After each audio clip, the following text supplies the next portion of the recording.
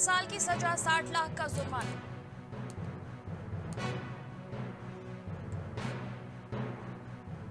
चुनावी चुनावी मैदान में कई दिग्गज छह बजे थम जाएगा चौथे चरण के लिए चुनाव प्रचार।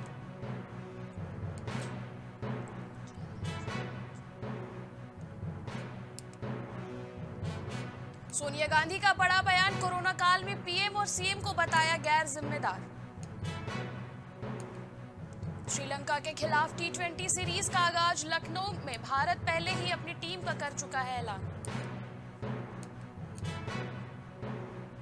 देश में कोरोना संक्रमण, सोलह नए मामले, पिछले 24 घंटे में 206 मरीजों ने तोड़ा दम।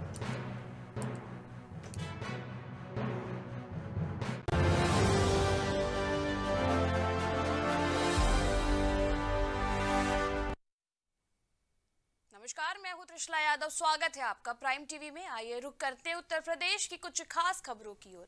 राज्यपाल आनंदीबेन पटेल दो दिवसीय मथुरा दौरे पर पहुँची, जहाँ आनंदीबेन पटेल ने पंडित दीनदयाल उपाध्याय वेटनरी विश्वविद्यालय में ग्यारहवा दीक्षांत समारोह में दीक्षांत समारोह में प्रतिभाग लिया। दीक्षांत समारोह के बाद बाके राज्यपाल, बाके बिहारी मंदिर, द्वारिकाधीश मंदिर और राधे वल्लभ मंदिर में दर्शन करेंगी। साथ ही मथुरा वृंदावन का दौरा करेंगी।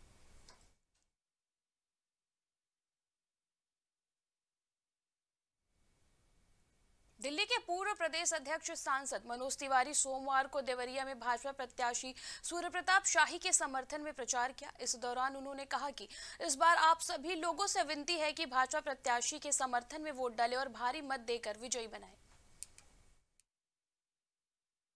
सूर्य प्रताप शाही जी के जिता के और उत्तर प्रदेश में कमल खिला के लोग दे, यही हमार सबसे प्रार्थना बा यह खुशी बाटे कि अब तक जितना चरण के चुनाव भइल बाटे, उत्तर प्रदेश में बहुत आशीर्वाद मिलल बा और यह पूर्वांचल में हमनी के बहुत बड़े स्तर पे कमल के समर्थन मिली ये हमनी के विश्वास। जी, दिल्ली में प्रदेश अध्यक्ष रहे हैं और दूसरी बात के सांसद हैं।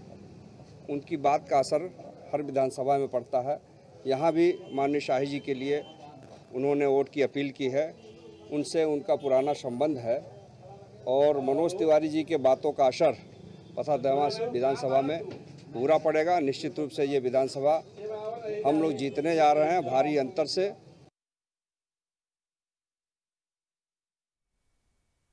सोनभद्र में अंतिम चरण में सात मार्च को चुनाव की तिथि घोषित होने के कारण सभी प्रत्याशी जनसंपर्क करते नज़र आ रहे हैं। वही बात करें दुद्दी विधानसभा की तो समाजवादी पार्टी ने कई बार विधायक एवं मंत्री रहे विजय सिंह गौड़ को टिकट देकर सत्ता पर काबिज होना चाहती है। वहीं भारतीय जनता पार्टी राम दुलाड़े गौड़ को टिकट देकर विजय हासिल करना चाहती है। वहीं सभी प्रत्याशी चुनावी मैदान में उतरकर जनसंपर्क अभियान करते हुए नज़र आ रहे हैं। सोनभद्र में दुद्दी विधानसभा में त्रिकोणीय लड़ाई के आसार दिख रहे हैं।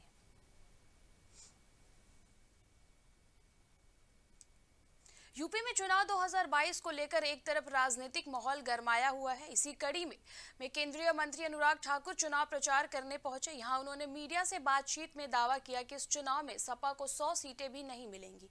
उन्होंने कहा, इस बार की लहर बताती है कि बुंदेलखंड में कमल ही खिलने वाला है और भाजपा भारी बहुमत से जीत रही है। इसी के साथ उन्होंने ये भी कहा कि अखिलेश जी सात चरण के बाद सौ भी नहीं पार कर पाएँगे। दस मार्च को अखिलेश का बयान आएगा कि ईवीएम बेवफा थी। सौ भी पार नहीं कर पाएँगे। अखिलेश जी सात चरणों के बाद सौ भी पार नहीं कर पाएँगे फिर घर की ओर वापस जाएँगे। दस मार्च को दस मार्च का दिन होगा अखिलेश जी का बयान होगा कि ईवीएम बेवफा है क्योंकि आज से उन्होंने बोलना शुरू कर दिया है। जो उनके करहल में भी हुआ वो स्पष्ट तौर पर दिखाता है कि वो अपना चुनाव भी हार रहे हैं और समाजवादी पार्टी का ये गुंडा राज माफिया राज और आतंकवादियों का साथ, ये आगे भी जनता स्वीकार नहीं करेगी।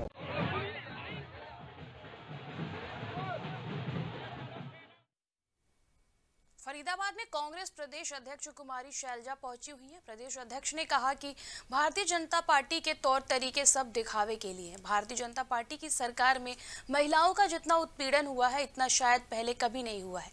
बल्लभगढ़ में प्रदेश अध्यक्ष मुख्य अतिथि के तौर पर पहुँची थी। इस मौके पर उन्होंने बताया कि कांग्रेस पार्टी और प्रियंका गांधी ने लड़की हूँ, लड़ सकती हूँ का नारा दिया था और इसका असर भी अब महिलाओं में दिखने लगा है। सैकड़ों महिला सड़कों पर आकर पदयात्रा निकाल रही हैं।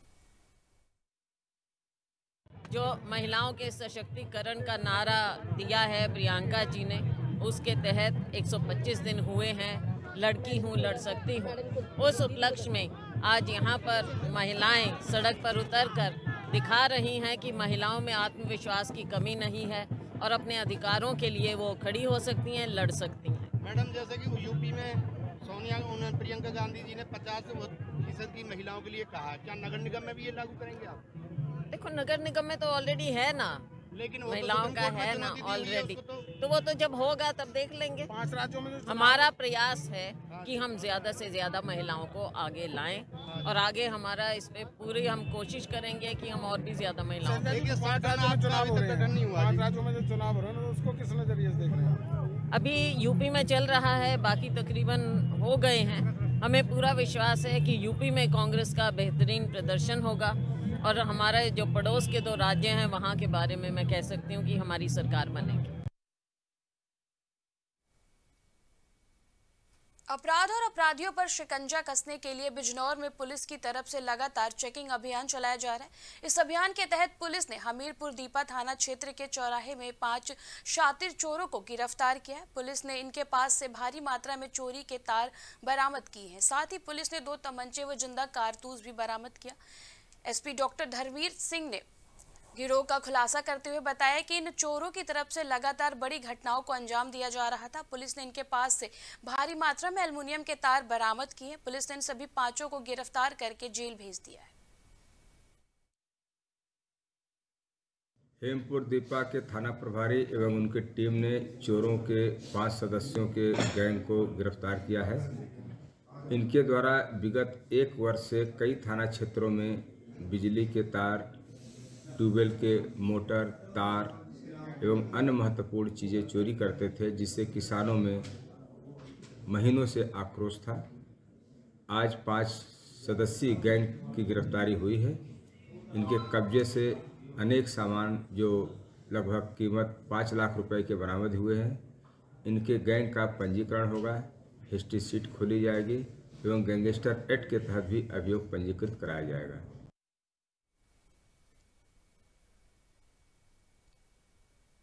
खबर देवरिया से है, जहाँ मईल थाना क्षेत्र के एक गाँव में एक युवती लगभग 36 दिनों से लापता है। आपको बता दें, थाने में गुमशुदगी की रिपोर्ट दर्ज कराने के बाद भी पुलिस युवती का पता नहीं लगा पाई। तो युवती की माँ और भाई ने युवती के मामा पर गुमशुदगी का आरोप लगाया। सर, मेरी बहन घर से भाग के गई है किसी लड़के के साथ, उसका नाम मुकेश है। और थाना जो मोइल है, वहाँ से कोई कार्रवाई नहीं हो रहा तो हम लोग एसपी ऑफ़िस देवरिया आए हैं। कितने दिन से लापता है? आज एक महीना सुपर हो गया सर। सुनवाई नहीं हुआ है नहीं हुआ है सर। क्या बोलते हैं बोल रहे हैं कि सर कर रहे हैं कर रहे हैं लेकिन कोई भी सुनवाई नहीं हो रहा है आप क्या चाहते हैं? हम चाहते हैं सर कि हमारी बहन किसी भी हालत में घर पे आ जाए। क्या नाम है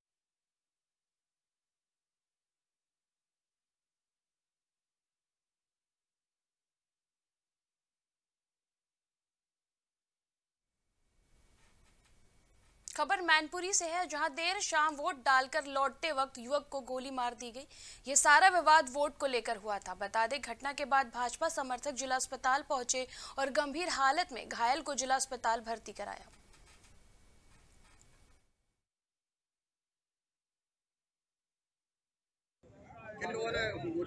अब ये तो वहाँ के लोग, स्थानीय कार्यकर्ता जो वहाँ के, वो बेहतर बता सकते हैं। लेकिन मैं इतना बता- सकता हूँ कि जो वर्तमान में सदर विधायक हैं, उनकी अगर थोड़ी सी भी उनमें योग्यता होती तो ये घटना घटित नहीं होती। पहले उन्होंने स्वयं पत्थरबाजी की जा करके ताल दरवाजे पोलिंग पर और उसी के बाद में एकदम पता नहीं कैसा वातावरण बना और उसी के परिणाम स्वरूप फिर जा करके उनके लोगों के हौसले बढ़ गए और उन्होंने अवध नगर की पोलिंग पर फायरिंग करना शुरू कर दिया। वो दो पड़ोसी है, दोनों मोहल्ले के सब हैं। अंशुल यादव जो सपा का कार्यकर्ता बताया जा रहा है उसने पांडे को चुनाव के बूथ के बाहर जो है अपने विवाद में गोली मारी है। मुख्य अभियुक्त को अरेस्ट कर लिया गया अभियुक्त दर्ज किया जा रहा है।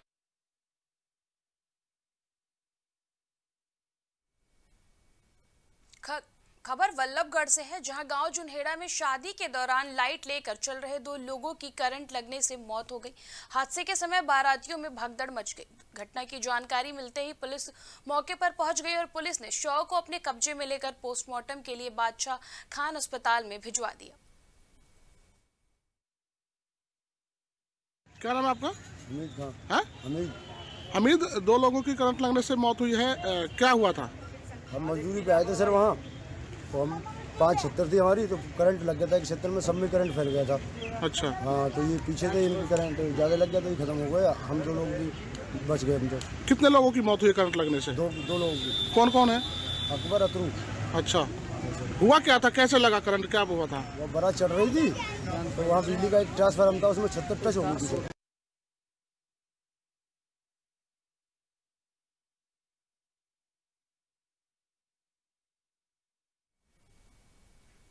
खबर अलीगढ़ से है, जहाँ कोतवाली ग्लास में चोरों ने जमकर उत्पात मचाया और चोरों ने लगभग छह से ज़्यादा दुकानों की छतों को तोड़कर चोरी की घटना को अंजाम दिया। बता दें, चोरों ने दुकानों सहित बैंकों को भी निशाना बनाया और लगभग तीन लाख से ज़्यादा की कीमत पर हाथ साफ़ किया। पुलिस उस मामले की जाँच में जुटी हुई है।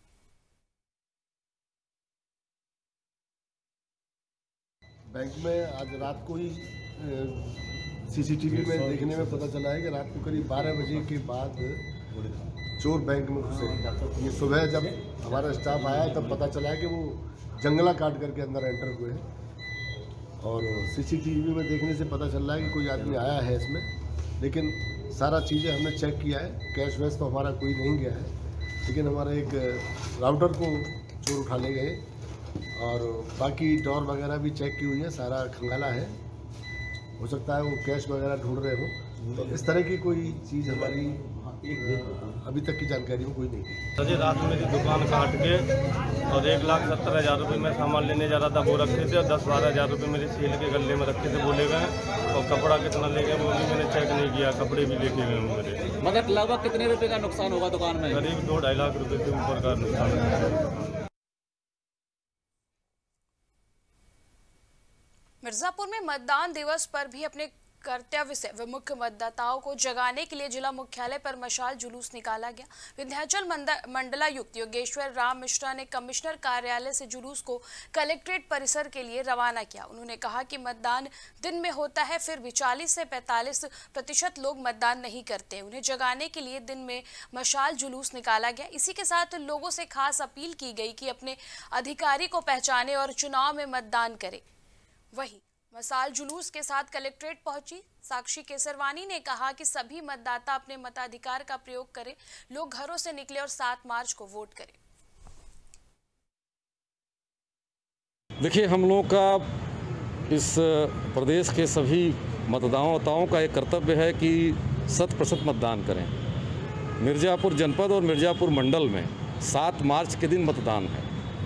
और देखिए कि अभी भी पचपन परसेंट साठ परसेंट से ज़्यादा लोग वोट नहीं करते। और ये एक पाँच साल में आपको अवसर प्राप्त होता है कि आप अपने पसंद का जनप्रतिनिधि सुन सकें। आपकी पसंद की सरकार इससे बनती है। तो एक मसाल यात्रा एक सिंबल है।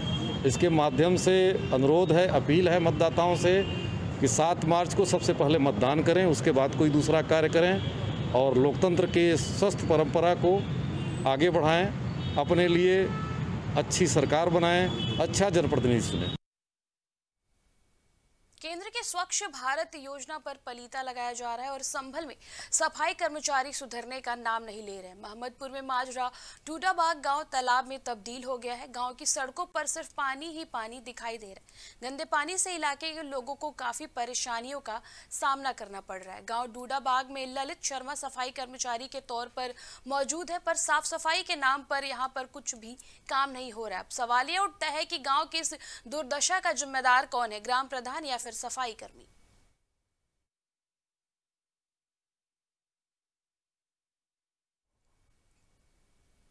उत्तर प्रदेश की खबरों में इतना ही देखते रहिए प्राइम टीवी।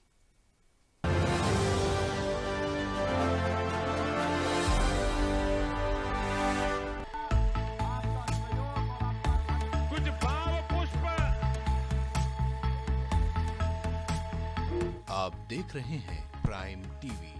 सच साहस सरोकार।